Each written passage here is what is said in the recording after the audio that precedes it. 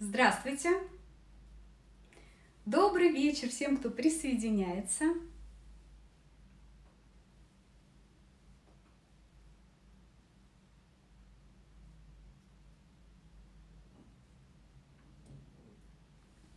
Здравствуйте, здравствуйте. И давайте, давайте немножко подождем пока. Добрый вечер, здравствуйте. И напомню, что тема сегодняшнего прямого эфира – это старт марафона по пошиву стильной куртки и стежки. И пока девчонки присоединяются, напишите, пожалуйста, видно ли меня слышно.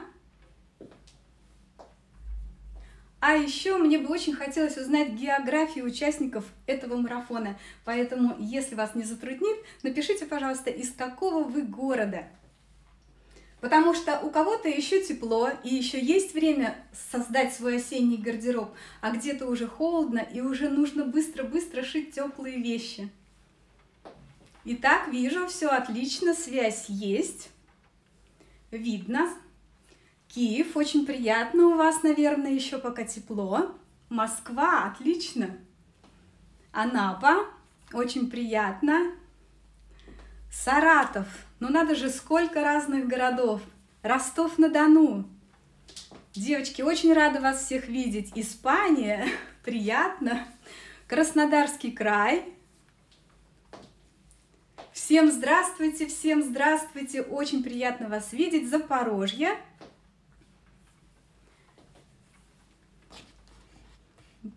Ждем, ждем новеньких присоединившихся. Ростов-на-Дону, Днепр. Отлично! Всем привет из Санкт-Петербурга!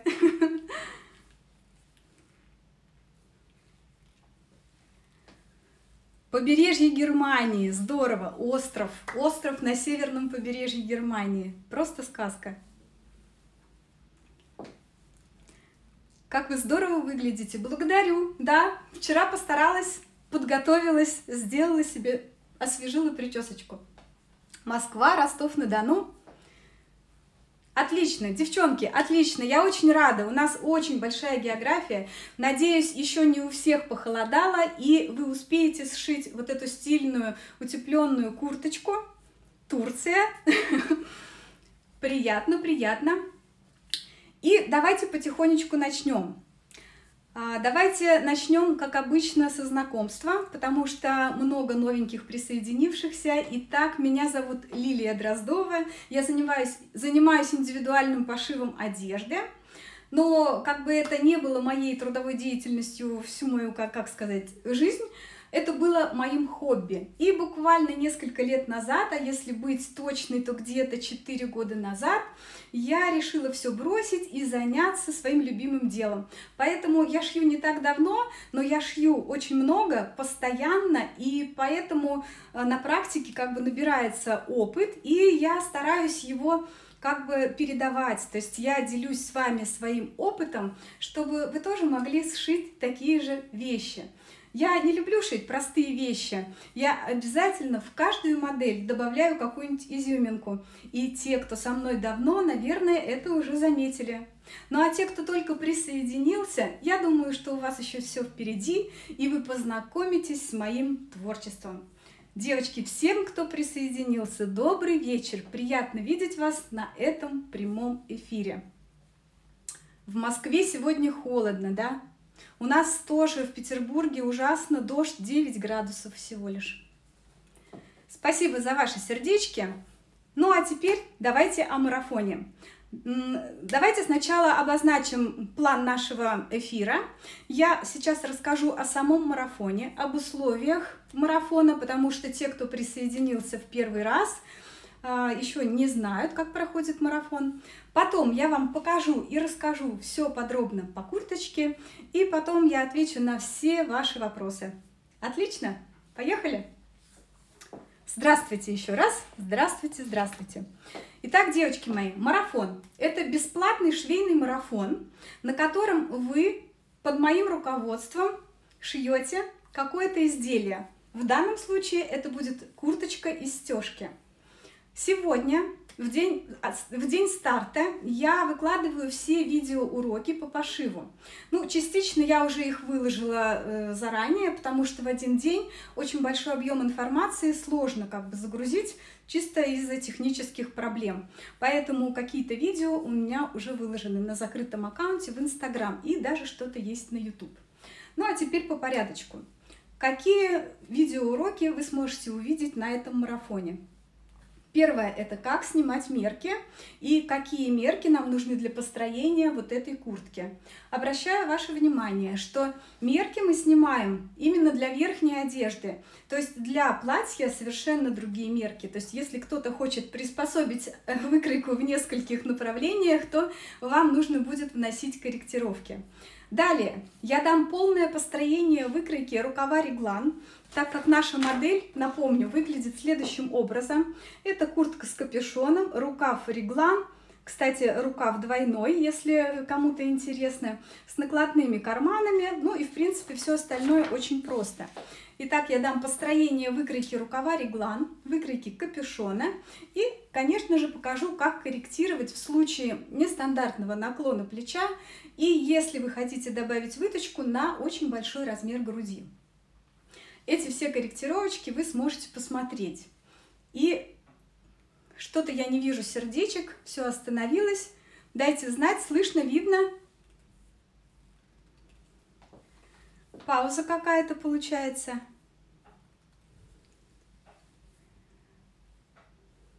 Так, сердечки появились, то есть я на связи, я не одна, разговариваю не сама с собой. Отлично, спасибо. Итак, поехали дальше. Что же мы после выкройки получаем? Мы получаем порядок работы именно со стежкой. То есть стежка это э, материал, состоящий из нескольких слоев. Из курточной или плащевой ткани, из синтепона, ну или какого-либо утеплителя. Ну и в моем случае здесь вот есть такая прокладка из панбонда, чтобы не вылезали вот эти вот ворсинки синтепона. Вот такой у меня бутерброд, это моя стежка. Вот такая вот она пухлая, но она очень мягкая. То есть у меня курточка буквально может вот сжаться буквально в кулачок. То есть она очень-очень мягкая. Поэтому я покажу, как работать вот с такой стежкой. Как обрабатывать швы, как их соединять. Это все будет на, урок, на уроках марафона. Конечно, я покажу, как обрабатывать кулиску, ставить кнопки, делать карманы и вот этот вот двойной пристегивающийся рукав. Все последовательно. В больших девяти уроках вы подробненько сможете все посмотреть и повторить. Итак, сегодня до конца дня я выкладываю все уроки на закрытом аккаунте в Инстаграм. Вы изучаете и советую сначала просмотреть все уроки, а потом уже, когда вы в целом получили картину и уже понимаете последовательность действий, после этого приступать уже к снятию мерок, построению выкройки и, естественно, к крою на ткани. Так что сначала ознакомьтесь с материалами, а, а потом уже приступайте к работе. Если у вас возникают какие-то вопросы, вы можете писать их в комментариях под видео, как на закрытом аккаунте, на YouTube или в закрытом э, телеграм-канале. Ссылка в телеграм-канал э, э, ссылка в телеграм-канал есть на закрытом аккаунте в Инстаграм. Я уже заговариваюсь немножко. Вот. Так что, если что-то не получается, в телеграм-канал вы можете прислать прям фотографию, и мы с вами разберемся. На, на все вопросы я отвечу. Потому что э, на что хотела обратить внимание. Э, как бы невозможно знать все. И, конечно же, с каждым изделием я сама набираюсь опыта, практики и так далее. То есть, вы думаете, это марафон для вас? Это в первую очередь был марафон для меня, потому что перед тем, как дать вам этот материал, мне нужно было изучить конструирование, моделирование, технологию обработки и работы с этими материалами. Поэтому, конечно же, я все это проработала, на себе проверила и только после этого даю вам уже этот материал. Но хотела обратить внимание, что я его отрабатывала на себе, на своих размерах. Поэтому, девочки-плюсики, извините, если что-то у вас не будет сразу получаться, вы пишите вопросы, и мы, конечно же, решим с вами все какие-то моменты в построении выкроек на большой размер. Я думаю, что пока вам все понятно.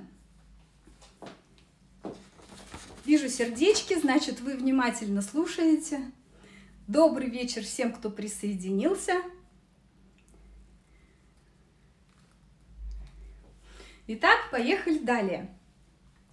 Материалы вы посмотрели, начали шить, и у вас есть на изучение материалов и пошив две недели. Это стандартный срок по всем моим марафонам. Как бы суть в чем, что если вы посмотрите и срок у вас будет неограниченный, то ну, вы просто посмотрите и не будете это делать, забудете. Когда есть ограниченный срок, очень многие любят, как говорится, пинок, да, и контроль какой-то, то вам, если надо, вы сошьете. Вы сошьете вечерами, там, какими-то свободными минутками, вы сошьете. И к этому сроку вы успеете. Две недели достаточно для того, чтобы сшить эту куртку. Я ее сшила за два дня, ну, вам, думаю, две недели хватит. Итак, две недели вы шьете, то есть ровно через две недели, это будет вторник, через две недели, доступ к видеоурокам закрывается. Вы до этого, конечно, можете сконспектировать, э, ну, как-то записать себе какие-то моменты, чтобы запомнить, и какое-то время потом можно будет дошивать, то есть не сразу э, по окончании двух недель а, я буду просить от вас работы ваши, потому что на конкурс э, вы можете прислать работы, ну, по мере готовности, как бы будем ждать основную основную группу участниц, которые претендуют на конкурс и хотят предоставить свои работы. Так что у вас еще будет сколько-то дней. Каждый раз по-разному. Когда-то неделька, когда-то две недели еще на дошивание, так сказать. Вот. Про пинок точно. Стараюсь успеть в отпуске. Тем, кто в отпуске, конечно, тем более срок ограничен. Так что не теряя времени, смотрим все видео в подряд и трудимся. Таким образом, я остановилась на конкурсе. То есть по окончании двух недель вы предоставляете фотографии ваших работ, желательно на себе. Конечно, на столе это хорошо, но вы сами понимаете, что такая фотография точно не будет на первом месте. Так что фотографируйтесь красиво, в красивых местах, в красивых курточках. И мы проведем голосование. Вы же сами и будете определять победителя.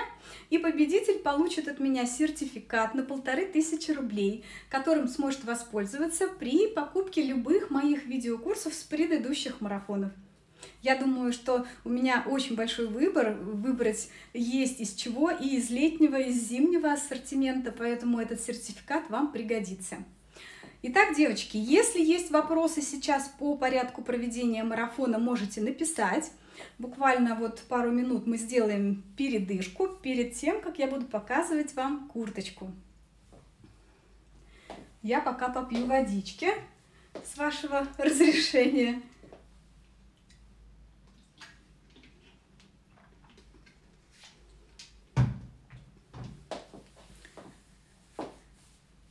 Кто-то ждет ткань и старается успеть. Ну, конечно, если интернет-заказы, то бывает и долго. Но так я понимаю, что по марафону вопросов нет. Если что, пишите в комментариях. Давайте приступим к примерке. Я сначала вам покажу ее просто вот так, поближе. То есть у меня куртка на кнопках, капюшон на, э, с люверсами. То есть можно затягивать веревочки. Вот он, рукав реглан. Вот здесь вот. Объем у меня достаточно большой. То есть смотрите, вот куртка. У меня свобода облегания 20. Те, кто уже видел э, видео первые, уже видели. Вот так выглядит второй рукав. То есть рукав три четверти и из него идет трикотажный рукав вот такие вот пышные карманы. Вот такой аккуратненький капюшон. И сзади она длинная.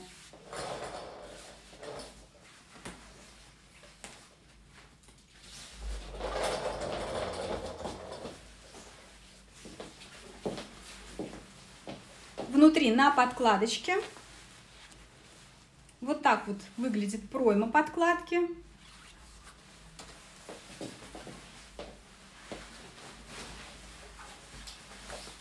Надеюсь, вам видно. Сейчас поближе подойду. То есть вот это все кнопочки. Сейчас расскажу про кнопки. Вот э, шнурочек. Вот такие вот здесь элементы. То есть можно, несмотря на то, что, видите, шалькой здесь сделан капюшон, можно вот так это все завязать э, шнурочком, чтобы не задувало. Дальше, сам капюшончик. Вот такой вот он. Ну и, соответственно, тоже можно вот так затянуть. Смотрите, какой симпатичный капюшончик. Дальше, рукава. Рукав три четверти и трикотажный рукав. Вот этот рукав можно сделать, конечно, чуть-чуть подлиннее. Ну вот я сделала его вот так, чуть ниже локтя. Вот такие кармашки сзади.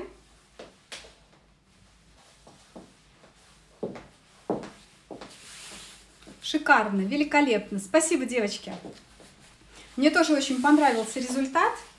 То есть, когда я шила, еще пока не понимала, достаточно ли мне такого объема, или это будет очень много. Но на самом деле вот этот вот объем, плюс 20, смотрите, он очень даже комфортно сидит, потому что стежка мягкая. То есть сама вот эта ткань курточная, она очень мягенькая. Если бы она была жесткая и еще много стежки, то, скорее всего, надо делать свободу поменьше, чтобы было ну, изделие поаккуратнее. Вот такая получилась курточка. И сейчас я покажу, как это выглядит без рукавов. Вот здесь сделаны такие вот планочки. И на этих планках кнопки можно сделать э, пробивные, я сделала просто пришивные такие кнопочки.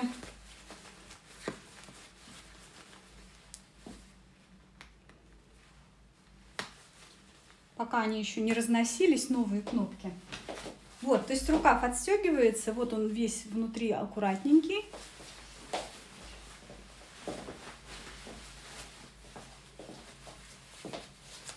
Получается вот так. Вот у меня просто рукав загнулся, я сейчас его вытащу.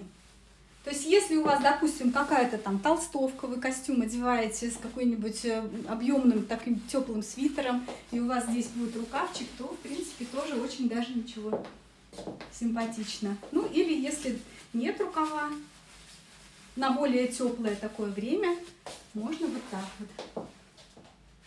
Рукав без рукава. Вот такая модель курточки.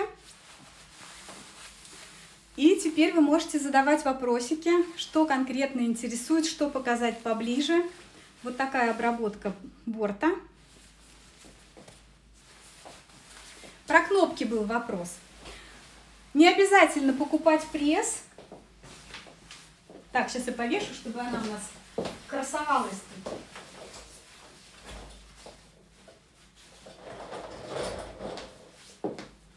Не обязательно покупать пресс. Я хоть и купила пресс, но не позаботилась о насадках, поэтому к пошиву этой куртки, к сожалению, не смогла им воспользоваться. Но я покупаю вот такие вот кнопки фирмы Prim. Ну, у меня, к сожалению, такая упаковочка немножко другая. Вот, эти комплекты идут э, с установщиком. То есть вот такой вот аппаратик, у него тоже есть насадки под размеры кнопок и буквально молоточком вы устанавливаете. В видео это все у меня показано. Как всегда шикарно, благодарю, спасибо большое. Сколько нужно кнопок? У меня здесь 5 кнопок. На рукавах вот этих вот пришивных у меня 6 кнопок. Пришивные кнопочки вот такие использовала. Они 14 миллиметров. Ну, можно поменьше, побольше. Тут как вам, в принципе, удобно. Вот через 5 сантиметров я пришивала вот такие вот кнопочки на рукавчике. Что за лента к борту пришита? Это репсовая лента. На самом деле пришить ее а, появился, так появилась необходимость, так сказать, когда я стала устанавливать кнопки. Я не проклеивала курт, ну, этот подборд, не проклеивала, потому что на плащевку клеить дублерин, ну, как бы синтепон там, я подумала, что это не очень актуально, поэтому решила укрепить борт. Вот. Я пришила репсовую ленту. Смотрите, она у меня вот такая, красивая, но я ее на левую сторону пришила. Ну вот она, вот такая репсовая лента. Я ее соединила по бокам к, подборту и через нее уже приделала кнопочки. Вот это вторая лента. Вторая лента у меня появилась э, после того, как я стала пришивать ее на рукава. Я когда пришила на рукава, думаю, что-то мне на куртке не хватает. И решила ее вторым слоем Ой. Она у меня вот такая тонкая. Вторым слоем пришить вот здесь. По расходным материалам все написано в видео по расходным материалам в описании. Где-то два с половиной метра, по-моему, вот этой ленты, а вот этой ленты полтора. По-моему, так. Для новичков трудный уровень. Ну, девочки, новички бывают разные, опять же. Есть новички, которые на лету схватывают, а есть те, кому надо очень так долго посидеть, поразбираться. Но в любом случае разбираться, разобраться можно во всем, было бы желание. Поэтому если у вас есть желание, и какой бы вы новичок не были, вы разберетесь. Никаких вот прям сильно сложностей здесь нет. На трикотажном рукаве кнопочки, кнопочки. Ну, я, я показала, какие кнопочки, обычные пришивные кнопки, 14 миллиметров. Они находятся с внутренней стороны, здесь вот.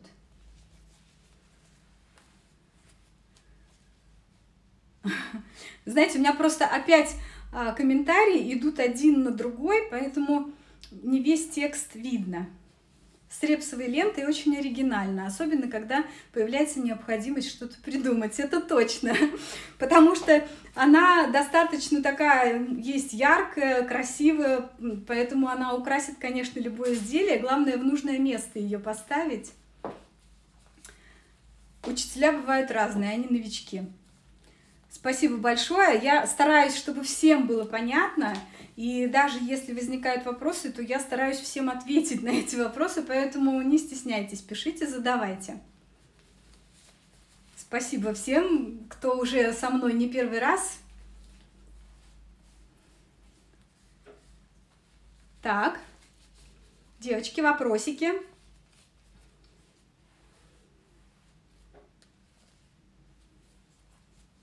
Может быть, есть вопросы по материалам или по выкройке. Да, конечно, технология обработки всех элементов будет на видео. Конечно, как первую пришивала, покажу. Вторую я просто пришила на руках, уже поверх первой, потому что все было сшито, я ее пришивала уже потом. У меня, к сожалению, здесь нет... А, вы, наверное, видели, у меня есть такой костюм спортшик черный с лампасами. Я примерила эту курточку с этим костюмом, с рукавом. И когда из рукава выглядывали лампасы, родилась вот эта идея сделать ленточку вот сюда. И в запасах у меня нашлась такая ленточка, соответственно, я ее сюда и пришила. Низ боковых швов.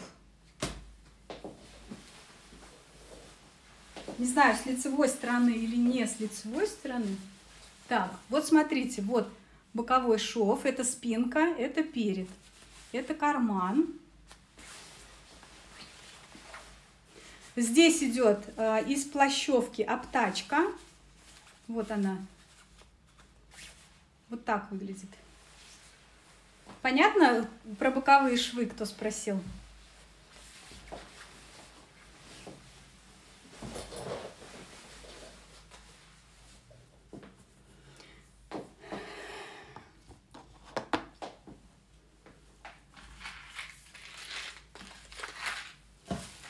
Про кнопочки поняли? Фирма Прим. Еще раз покажу. Да, потом после окончания марафона, как обычно, можно доступ ко всем видеозаписям приобрести. Но пока это еще не сформировано в какой-то конкретный курс, а потом, скорее всего, можно будет.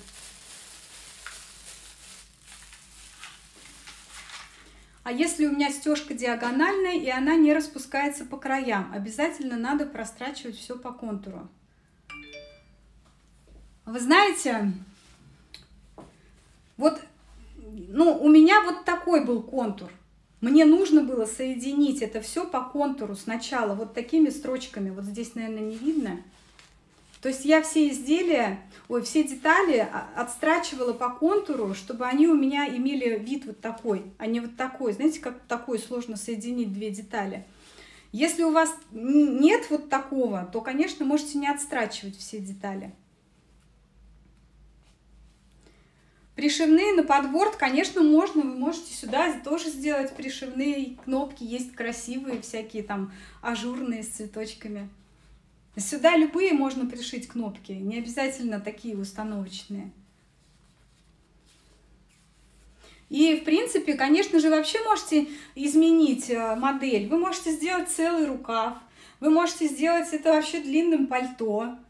А, можно сделать, допустим, что еще? Ну, кнопки. Можно сделать, конечно, и молнию при желании. То есть не строите полузанос и пришиваете молнию.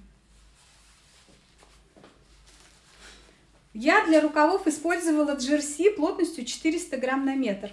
Если кто смотрел мои э, предыдущие творения, я из этого джерси шила сыну костюм на школьную форму. Вот у меня осталось, и я использовала этот джерси вот здесь для рукавов. 400 грамм, плотный очень. Всем, кто присоединяется, здравствуйте, но мы уже все сказали, поэтому посмотрите в записи. Ничего не хочется менять, все очень органично. Спасибо большое. Ну, мне тоже кажется, что если что-то менять, ну, менять надо все тогда, уже до другого какого-то дизайна. Добрый вечер, опоздала без молнии. Да, куртка без молнии на кнопках, на установочных кнопочках. На рукава, что может подойти? На рукава подойдет, я вот когда смотрела в магазинах, думала, может что-то другое купить. Можно использовать футер, можно использовать джерси, можно использовать какой-то э, вязаный трикотаж плотной вязки. То есть, э, ну, любой трикотаж, важно, чтобы он растягивался. Почему? Потому что вот эта планка, видите, на растяжку. Вот этот рукав должен быть меньше, чем рукав на куртке, а планка для кнопок одинаковая. Поэтому вот этот материал должен растягиваться. Любой трикотаж, который растягивается. Двухсторонняя стежка и получится необъемно, как у вас. Ну, возможно, да, не объемно, потому что двухсторонняя, она может быть и прострочена более часто, и такая она более тонкая. Ну, не страшно. Почему обязательно она должна быть такая вот? У каждого свой вариант на самом деле. Поэтому у вас получится менее объемная, красивая курточка. Про манекен. Ну, что могу сказать про манекен? Если бы я покупала сейчас манекен, я бы купила его как свой старый э, в черном цвете, потому что ткани многие красятся и очень часто, очень быстро пачкается светлая вот эта вот хлопковая обтяжка. А второе, я купила к этому манекену руки, но они вообще неудобные. То есть, если вы будете покупать руки, ну, не покупайте. Я бы лучше голову купила на самом деле, чем руки, потому что руки лежат в шкафу вообще неудобные. По удобству, ну, конечно, вот эта вот система колесиков такая достаточно хлипкая, я бы сказала. А сам манекен, он удобный, он мягкий, иголки в него, можно утюжить на нем. По форме он подходит под, под мою фигуру, поэтому сам манекен удобный, а все, что вокруг него, как бы, ну вот так. Посоветуйте кнопки, чтобы хорошо стояли. Про кнопки я уже сказала, я использую фирмы Prim. Платье на вас восторг. Выточки разглядела, а рукава. Это платье из джерси. На YouTube канале есть моделирование и пошив где-то примерно год назад. А, здесь французская выточка. А рукав, кстати, вот я тут использовала вот эту репсовую ленту, остатки от нее вот сейчас использовала к этой куртке. То есть получается рукав просто широкий и в боковом шве не зашит. Вот и все. Спасибо, всегда приятно проводить время с вами. И вам спасибо, мне тоже с вами очень приятно. Согласна, платье классное. Спасибо, девочки. А сколько у вас ширина утеплителя примерно? Полтора сантиметра. А, ширина, ширина. Утеплитель, как э, написано у, у продавца, плотность его 150 грамм. А так трудно сказать. Вот когда зашиваешь, он тонкий, когда вот он распушенный такой, он толстый. Здесь не сказать, какая ширина утеплителя. Так-то он вообще плоский, ну вот он очень мягкий. Но когда вот как вата, знаете, вата может быть пушистая, а можно ее сплюснуть. Поэтому не могу сказать. 150 грамм на метр плотность. Спасибо большое. Эксклюзивная курточка. Спасибо. Спасибо, девочки. Я рада, что вам понравилось.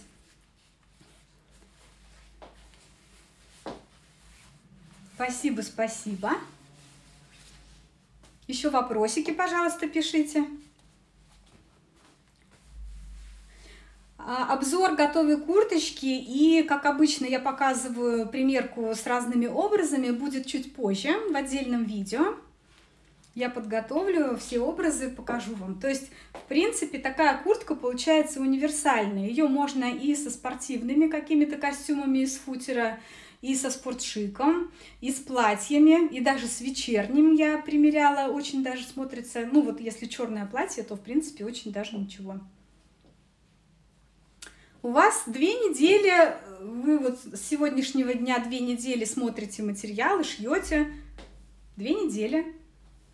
Ну, потом еще какое-то время можете дошивать, то есть конкурс не сразу через две недели. Спасибо, будем стараться сшить. Конечно, старайтесь. Это же все для вас. Будете ходить в красивых курточках. Я шила два дня. Ну, я работаю дома, поэтому у меня как бы утро начинается с хозяйственных каких-то домашних дел, и в перерывах я шила вот курточку. Поэтому, ну вот считайте, два дня с перерывами на домашние работы. Не хотела трикотаж на рукава, а в магазине попался подходящий. Ну, отлично, значит, сама судьба вас привела к такому рукаву трикотажному.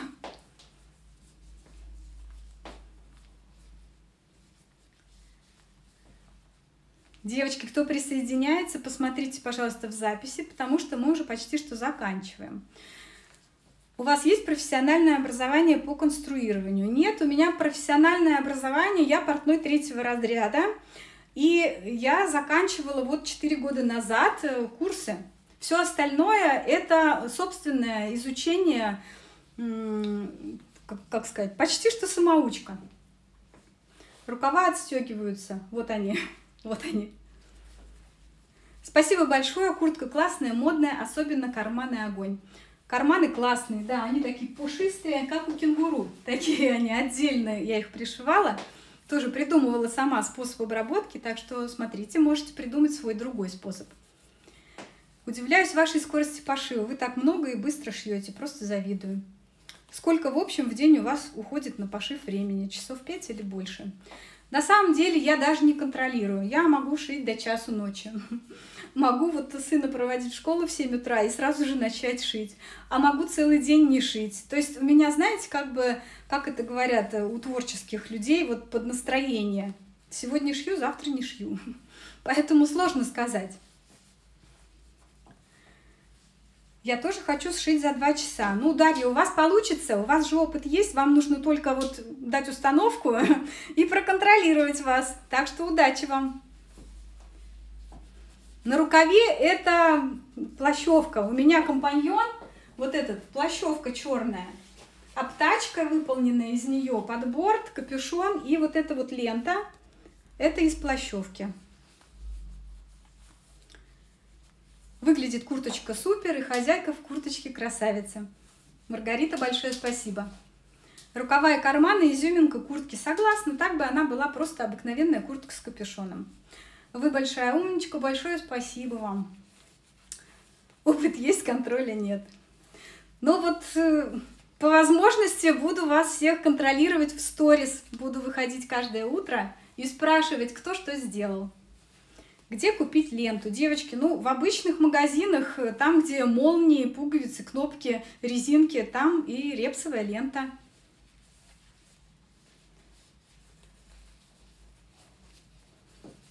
Так, еще вопросики?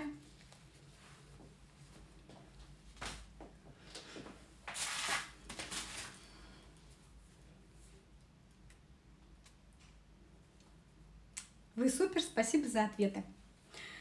И вам большое спасибо. Очень функциональная курточка, согласна. Она и функциональная, и под многие стили подходит. Пока не знаю насчет теплоты, потому что еще пока не выходила в ней на улицу, но 150 утеплитель, ну до нуля-то точно должен, наверное. К тому же можно вниз что-то одеть. С вами очень легко, очень приятно. Я стараюсь я стараюсь, во-первых, простым языком доносить, не по книжкам, потому что там э, я вот сама разбираюсь с некоторыми книжками, думаю, ну для кого же их написали? Очень все сложно, вот так вот. Поэтому я стараюсь просто, чтобы было всем понятно, все показать, стараюсь поближе, если вот сам пошив. Поэтому я думаю, что вы все справитесь. Ногами, ногами от манекена часто пользуетесь. У меня вот ноги. Я купила манекен, наверное, пару месяцев назад, э, пока брюки еще не шила, поэтому не могу сказать э, про ноги ничего. Вот когда буду шить брюки, тогда буду пользоваться. Я так рада, что шью вместе с вами. Очень приятно. Спасибо большое.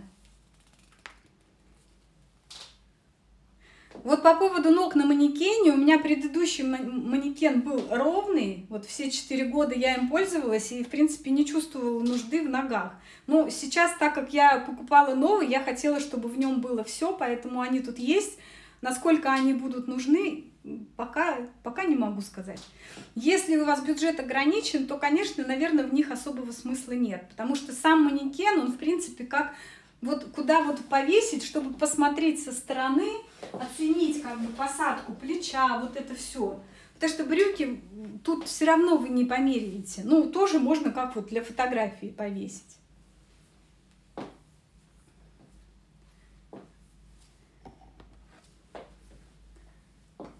Ну что, если вопросов больше нет, то я думаю, что мы можем потихонечку заканчивать наш прямой эфир. Очень рада, что вы пришли ко мне на прямой эфир. И очень рада, что вы пришли на марафон. А, Лилия, у вас очень доступный и щедрый материал на марафонах. Спасибо большое вам. И вам большое спасибо. Как я уже сказала, я просто стараюсь, чтобы вам было все понятно. Спасибо большое, спасибо, спасибо. Девочки, и вам спасибо обязательно шейте такое платье. Оно из джерси, это трикотаж, оно комфортное, удобное, стильное. Ну, на самом деле здесь все в одном. Поэтому шейте платье, шейте сначала куртку, потом платье. Спасибо, девчонки, за участие, за присутствие. Надеюсь, у вас все получится. Буду ждать ваши работы, ваши вопросы, ваши комментарии, ваши сердечки под всеми видео. Спасибо вам огромное. Спасибо, спасибо за щедрость, спасибо.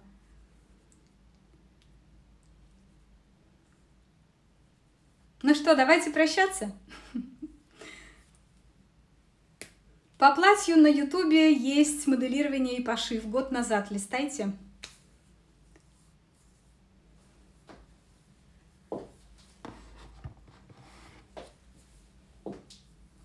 Спасибо за прямой эфир и марафон. Оксана, и вам спасибо. Буду ждать от вас вашу модельку на конкурс. Спасибо, спасибо. Ну все, девочки, спасибо вам большое. Давайте уже приступим к нашему творчеству. Сейчас буду выкладывать видео, которые еще не выложила. А вы, пожалуйста, смотрите, изучайте, шейте. Желаю вам творческих успехов. Шейте с удовольствием и носите красивые вещи. Каждое утро в сторис буду вас контролировать. Окей? Договорились? Все, пока-пока.